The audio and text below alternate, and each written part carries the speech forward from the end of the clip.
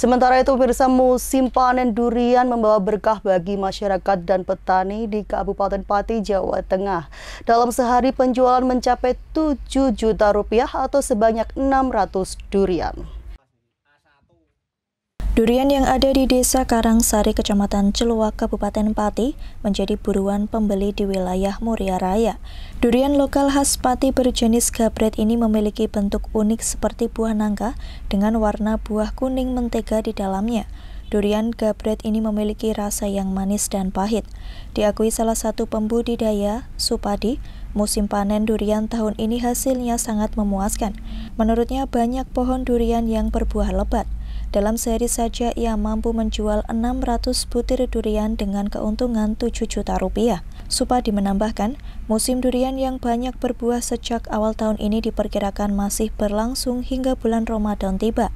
Untuk harga satu buah durian terbilang terjangkau, yakni mulai 30.000 sampai 150.000 rupiah. Pembeli datang dari berbagai kota meliputi Demak, Rembang, dan Jepara.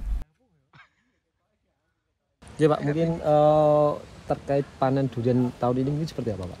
Bagus mas panennya, hmm. lebat buahnya ya hasilnya lumayan bagus lah. Hmm. Kalau untuk harganya sendiri?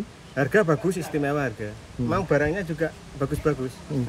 Pembelinya ada yang dari Pati, Jepara, hmm. ada yang dari Rembang, Lasem, hmm. ada yang hmm. dari Demak juga ada. Sementara itu, suasana pedesaan di lereng Muria masih terasa. Pembeli dari luar daerah pun penasaran datang ke Karangsari. Salah satu pembeli, Beni, berasal dari Kudus mengaku penasaran dengan rasa buah durian dari celuak.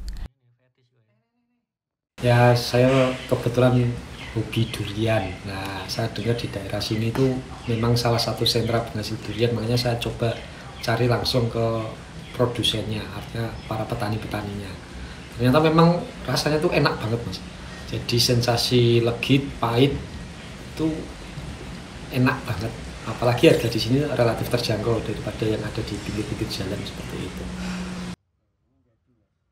Tim liputan Simpang 5 TV melaporkan